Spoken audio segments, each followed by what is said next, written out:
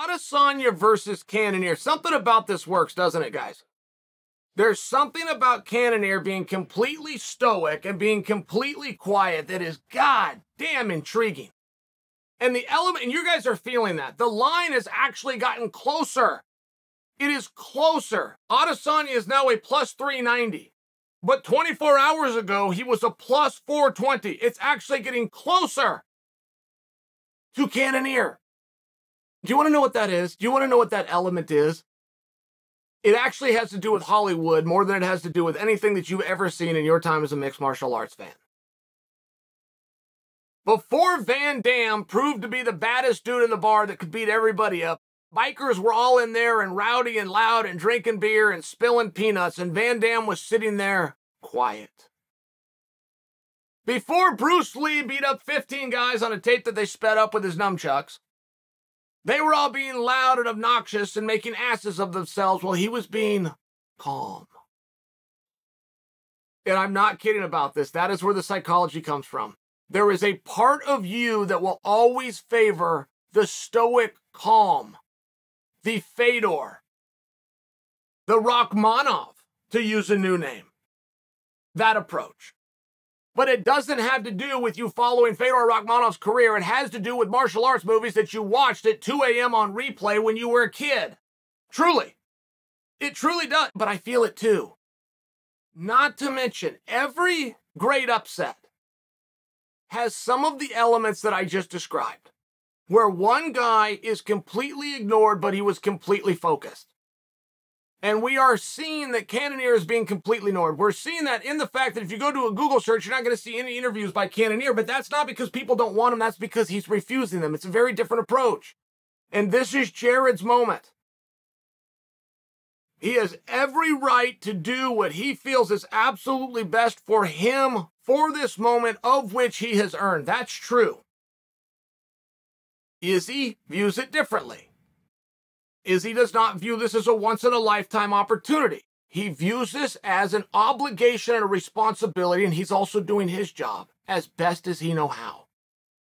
Nobody's wrong here, but just to explain why there's a little part of you as this fight gets closer that's starting to wonder, hmm, does Cannonier have the power? Can he catch him? He sure is strong. The little part of you that's starting to turn, starting to see a little bit of glimpse little bit of pot of gold on that rainbow that is Jared Cannonier, just so you understand that's where it's coming from. It's an influence that you had from Hollywood. And if you look within inside yourself, you will find that I'm right. And if you try to look outside of yourself and tell me that I'm wrong, I'm quickly going to turn the gun on you and to tell me to provide me an example within your time as a viewer of mixed martial arts, and you're going to be stuck. That's what it is. And Dan Hooker quite possibly said this best.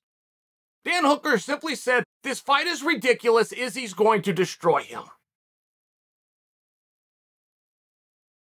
Dan Hooker's going to be the one in the room that looks the most correct when this is done. However, the phenomenon that's leaning towards Jared and is actually moving the line at DraftKings is not without merit. The problem and the exception is when you talk about the great upsets over time, you talk about the elements that are added to this fight and how that steers you, at least by the numbers, towards Cannonier. The champion, the favorite, the Adesanya, always overlooks the opponent. That's one mistake that Izzy is yet to make. Izzy does not overlook opponents. He is not overlooking Jared Cannonier. As a matter of fact, he does have a different approach.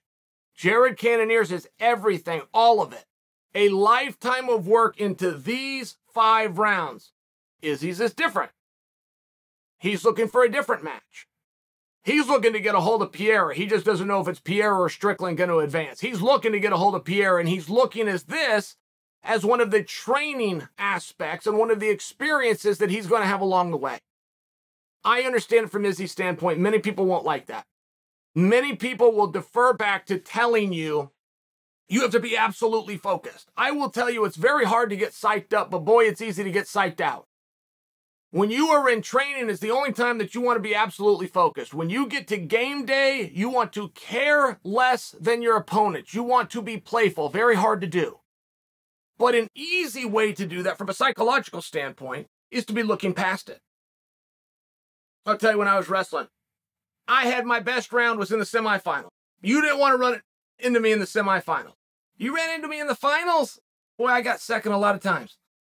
I got second in my state. I got second in the nation. I got second in the world championships.